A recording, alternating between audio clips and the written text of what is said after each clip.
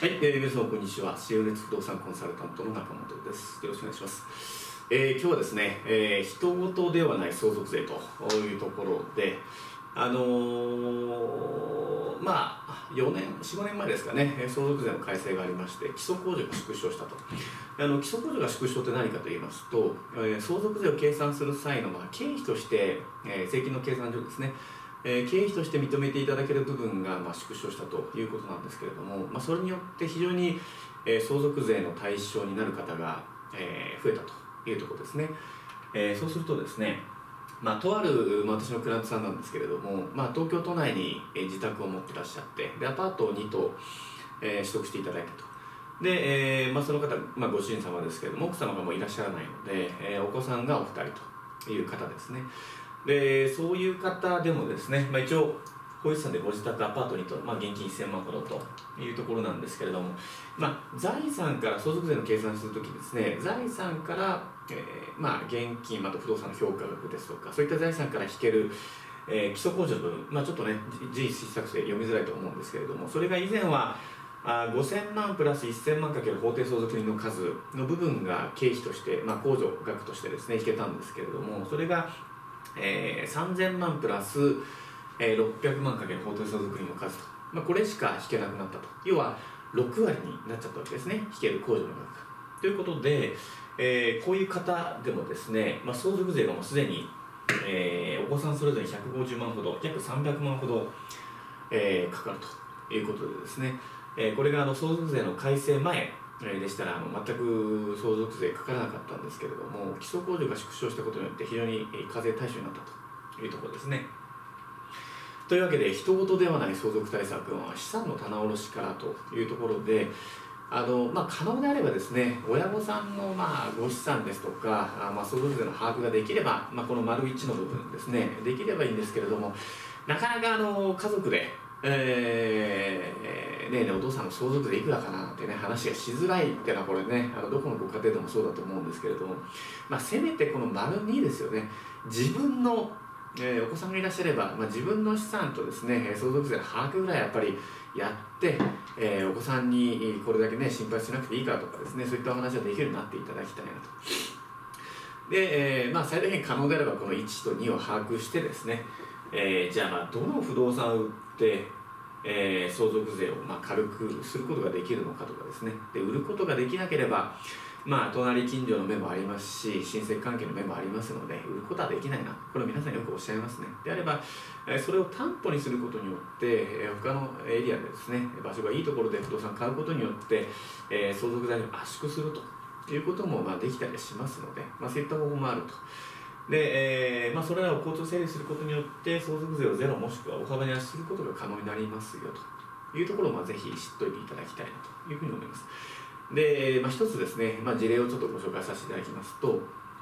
以前こんな事例のご相談いただきましてえーまあ、場所がものすごいところですね山手線の、まあ、とある駅から歩いて5分と。で土地で60坪お持ちでいらっしゃると。で今現況何してらっしゃるかと言いますと、まあ、コインパーキングなわけですね。で年間の家賃収入200万と経費いたと。で土地の時価、えー、その当時約2億。今だともうちょっと上がってると思いますね。で2億。でつまり家賃収入で200万。で割ることの土地の金額でここは土地が2億ですからここに投資してるのは2億ということになりますので割り戻すと200万割ることの2億で約1%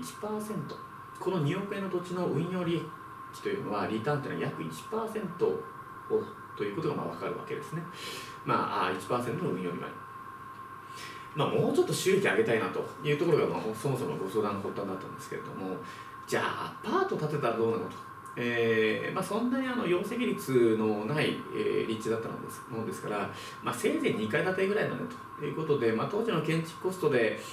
えーまあ、約10世帯ぐらい、えーでまあ、5000万ぐらいだねなんて話で。そうすると年間賃料でですね、えー、営業利益で625万ほどそうするとえー、625万の営業利益。これを建築コストの5000万で割り戻せば12.5%の投資です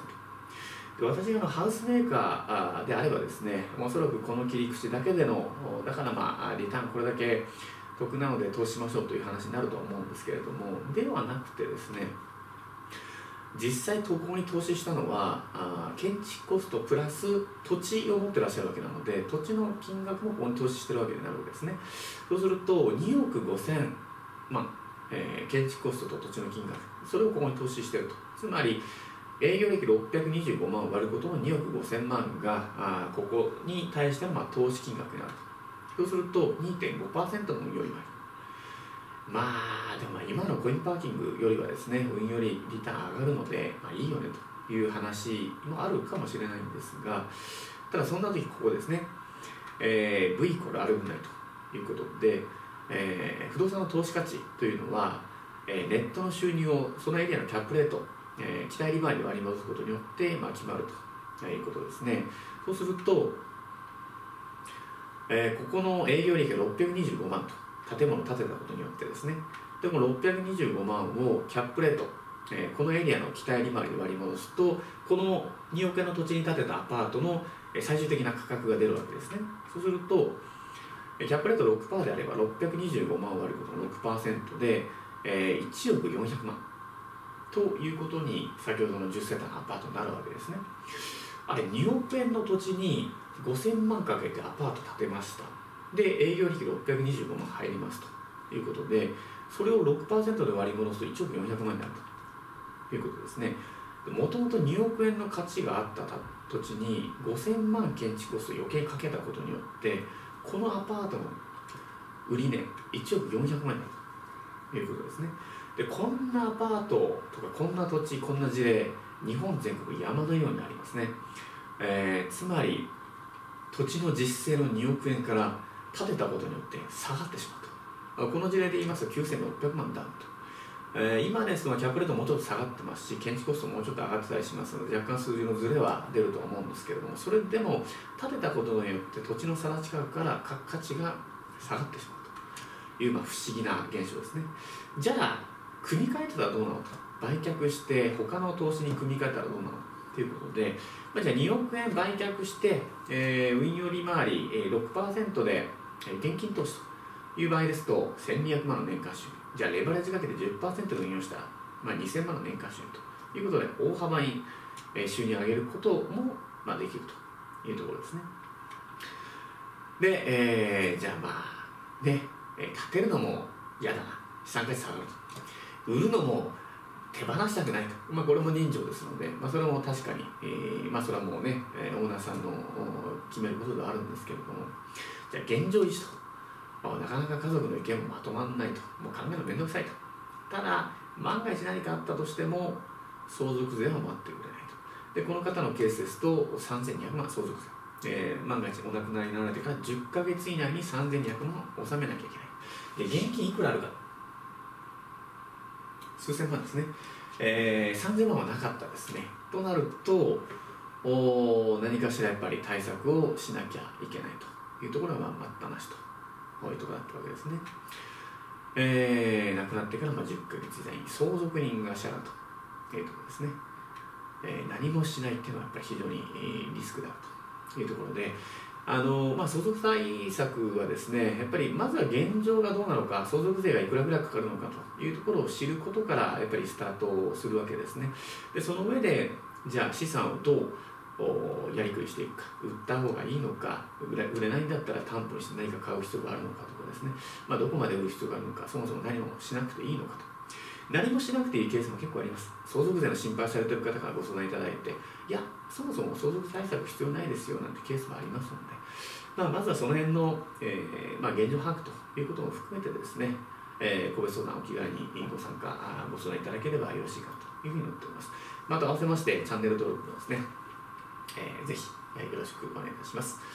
えー、以上です。どうもありがとうございました。